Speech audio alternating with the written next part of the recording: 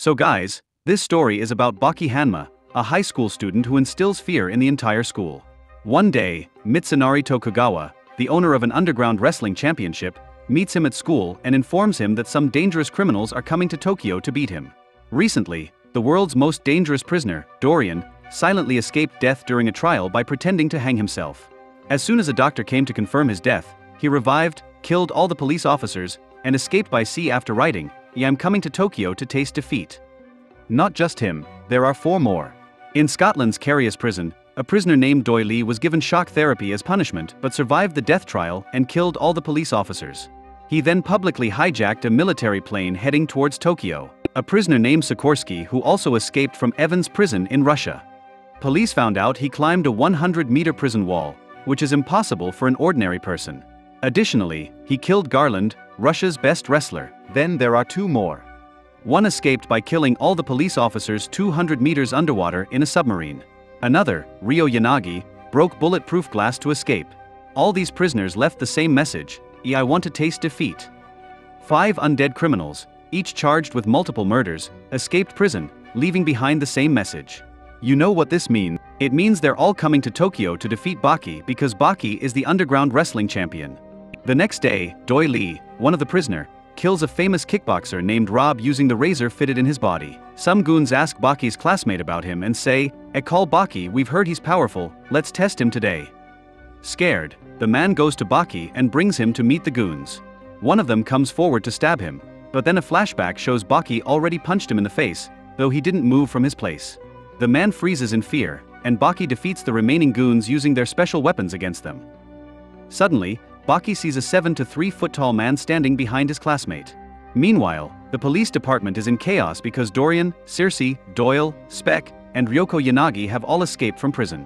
An officer informs them that citizens saw a man crush a police van with his bare hands, which turned out to be Speck, one of the five criminals. The scene shifts to the man confronting Baki. To show off, the man shoots himself in the mouth and says, I'm the strongest man in Tokyo. Are you Baki Hanma? Friend, I want to experience defeat. Will you help me? As soon as they shake hands, the man's hand falls off, shocking Baki. Speck then starts beating Baki insanely. After a while, the police arrive and arrest Speck. An officer says, As sir, we found Officer Kanita's hand here, as shocking Baki.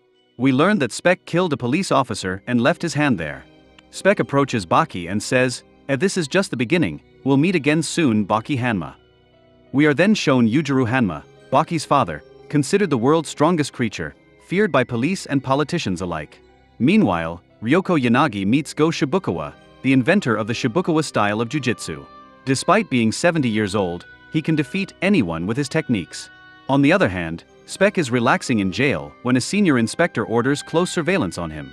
The inspector goes to the restroom but finds Speck urinating in buckets right next to him. The inspector asks, Eh hey, what are you doing here? Speck replies, Eh oh, I just came to use the bathroom. Here, have some meat buns, they're really crispy. The inspector kicks him in the groin, but Speck says, Here, eat this quietly. Then he kills the inspector along with the other police officers. Now we see Katsumi Orochi, founder of a karate style called Shin Shin Kai, nicknamed Lethal Weapon.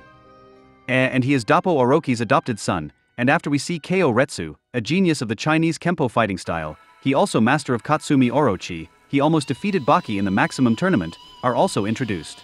Katsumi is giving a lecture to his students when Dorian arrives and asks to meet Master Doppo Orochi. Katsumi first asks him to take off his shoes. Dorian takes off his shoes and then kicks Katsumi hard, gouging his eyes and trying to kill him. Katsumi kicks him back, but Dorian throws a wooden piece at his throat and says, hey, You have some strength. I guess I have to meet Master Doppo now. Dorian starts to leave, but Kaioh Retsu arrives and challenges him, saying, eh hey, fight someone your own size. Fight me if you have the guts. Dorian pretends to cry and tries to attack Retsu's eyes with a nose hair, but Retsu dodges it. Dorian then breathes fire at Retsu, and manages to escape. Meanwhile, at Baki's school, a fitness test is taking place. In a 400 meter race, Baki outruns everyone, causing dents in the ground. In the long jump, he jumps beyond the cross line, astonishing all the students. His teacher can't understand how Baki is so strong. During pull ups, Baki breaks the pull up bar, making the teacher angry because Baki hasn't completed a single test properly, and his scores are low. Baki asks his teacher if breaking the world record in the 1,500 meter race will pass him. The teacher replies that the record is 3 minutes 26 seconds, doubting Baki can break it. Baki, confident, prepares for the race. Baki starts off running the fastest, but because of a muscle cramp, he slows down a bit and finishes last. Impressed by his talent, the teacher still passes him. Meanwhile, Mitsunari meets Kanji Igari, who fight Baki in the Maximum tournament. Suddenly, Circe attacks him, and an ambulance takes Kanji away. Mitsunari takes Circe with him.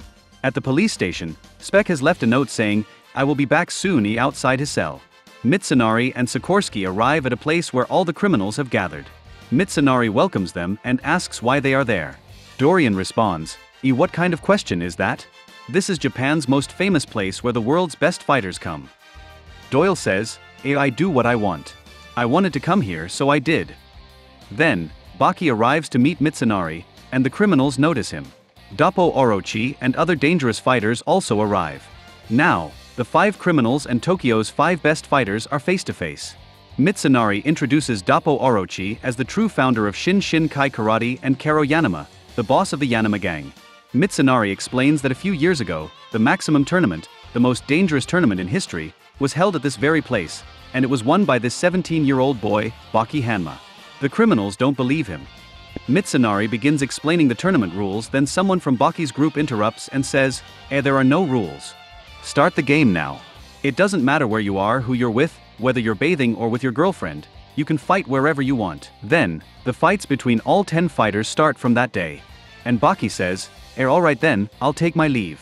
I have homework to do. Meanwhile, the inspector sees that Speck has returned to his cell. Elsewhere, Dorian and Doppo are walking when Kaioh Retsu appears, seeking revenge for their previous encounter. Doppo Orochi kicks Dorian hard, eager to get his revenge. Dorian attacks with his firelighter, but Doppo easily blocks it and says, This is my perfect defense. It can't be broken by a missile. Meanwhile, Kanji Igari confronts Sikorsky, seeking revenge and bringing some thugs with him who capture Sikorsky. Returning to Doppo Orochi, we see Dorian cut his hand with a thread. Dorian has a special lighter from which a thread stronger than nylon and thinner than a spider's web emerges. Dorian explains, eh, this thread is a miracle of science. Magicians have used such threads for their tricks for a long time. Orochi realizes that Dorian had taken advantage of the earlier kick to attach the thread to his hand. However, Orochi, used to breaking his hand during training, punches Dorian hard in the face, knocking him to the ground. Meanwhile, Kanji and his friends are plotting to kill Sikorsky. Kanji shoots Sikorsky five times, but it doesn't affect him.